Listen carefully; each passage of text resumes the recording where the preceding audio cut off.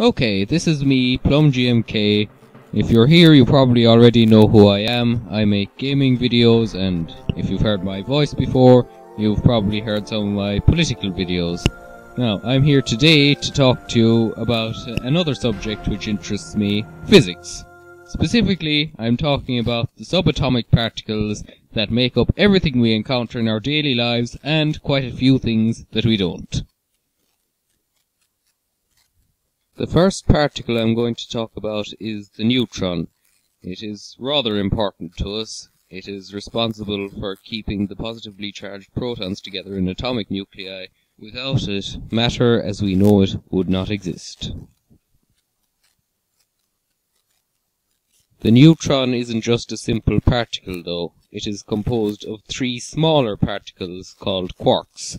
There are different types of quarks. In the neutron, there are two downs and one up.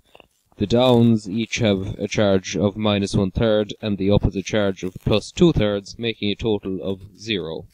This type of composite particle in which there are three quarks is known as a baryon. The three quarks are held together by a force known as the strong interaction. Each carries a charge pertaining to this. Because there are three it was seen fit to call them after the three primary colors, red, green, and blue. Therefore this charge is known as the color charge. To maintain this binding force, the quarks constantly exchange particles known as gluons. These gluons are said to be virtual because as soon as they start existing, they almost immediately stop existing, either by interacting with another quark or by decaying. Each gluon has both a color and an anticolor, which means that they are able to change the colors of quarks with which they interact, but always keep the overall baryon colorless. When representing anticolors in a diagram, it is common practice to simply invert the ordinary color, and this video is no exception. Therefore, anti-red is cyan, anti-green is magenta, and anti-blue is yellow. Please note that as all this takes place on a quantum scale, it is impossible to determine what colors and anticolors are actually involved in any particular interaction, or even when any interaction will occur. I'm just putting in certain possibilities here. Despite its importance in keeping atomic nuclei together, on its own the neutron is actually quite unstable. After an average of about 15 minutes, the neutron will transform into a proton by a process known as beta decay, or more specifically beta minus decay. This occurs due to another force known as the weak interaction.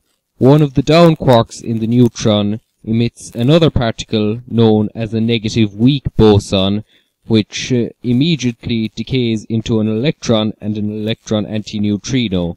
The down quark is transformed into an up quark, therefore transforming the neutron into a proton. Before I go any further, let me give a brief explanation of what antimatter is. An antimatter particle is the same as its ordinary matter counterpart, except completely reversed. Electric charge, color, anything else you can think of, it's inverted.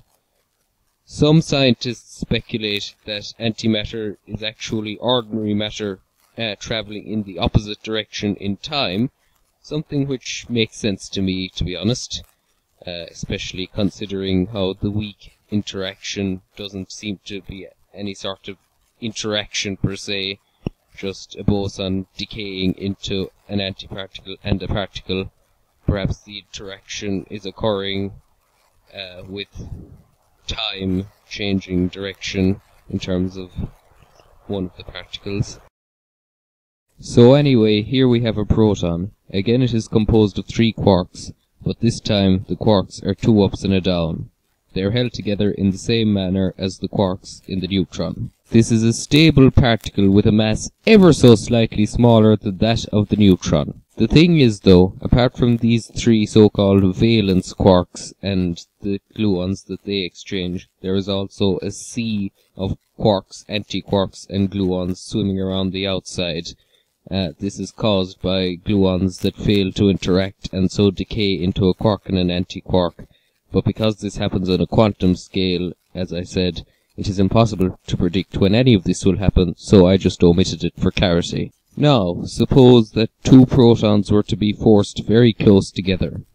This happens very rarely here on Earth because of the electromagnetic repulsion between them, but it is quite common in high pressure environments such as the Sun. This is where the nuclear force comes into play. One of the sea antiquarks teams up with one of the valence quarks with the equivalent color and leaves the proton becoming a neutral particle known as the pion. This goes off and joins another proton, keeping these two colorless particles together in an arrangement known as a diproton. However, as strong as this nuclear force is, it is not enough to overcome the electric charge permanently, so one of two things can happen. In most cases, the two protons just fly apart again, However, in some cases, the weak interaction may kick in and cause a, a process known as beta plus decay. One of the up quarks in one of the protons turns into a down quark and emits a positive weak boson. This then decays into an electron neutrino and an anti-electron or positron.